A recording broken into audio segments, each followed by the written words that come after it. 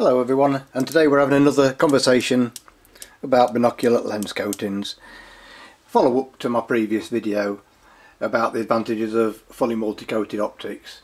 Now here we have two objectives of two separate binoculars side by side looking at exactly the same reflection on the table and the background window and wall. Now often on forums, obviously not tarnishing everyone with the same brush, but you will get comments such as, yeah, here is one 15 by 70 binocular, here is another, and one is basically an overpriced copy of the other. And there seems to be this feeling that on, on forums that a lot of people think that binoculars that look the same are the same. One is a copy of the other. And the other day I went on and somebody said just because they look the same it doesn't mean they have the same lens coatings on. And finally somebody got it just right. So here are two separate binoculars.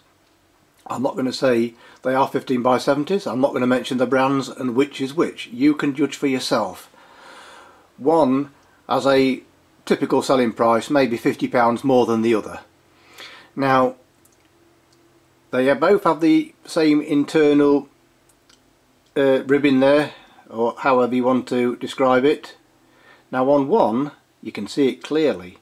On the other one there's a lot of reflection you can't see inside the binocular very well. So that means that more light is going through on this one. It has better coatings than this one. And if you look here there is a, a part of the wall that's like a mirror there. It's very highly reflected.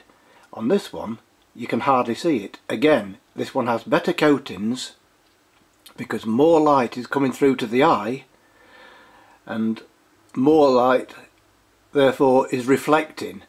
And that is why one of these, you just for yourself, has the better lens coatings. Yet on some forums you, you, you will say yeah it, one is a expensive copy of the other. They're, they're all the same. They use the same prism. They use the lens, same lens coatings that's not true. So, like I say, these are both looking at exactly the same. One costs around £50 more than the other. You judge for yourself. So, despite what you may see on forums, just because two binoculars look the same, they don't necessarily have the same lens coatings on. So I hope that explains and clears that up for you. And please, you know, if you know anyone that would differ with me that thinks oh yeah they, they are all the same actually. Yeah show them this video and uh, see what they think. So thank you very much for watching again. Please subscribe to my channel and check out the links in the description below